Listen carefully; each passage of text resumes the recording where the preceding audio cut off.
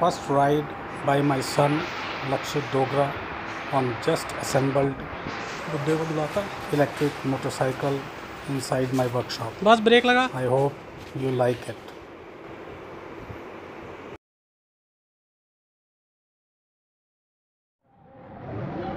Olin.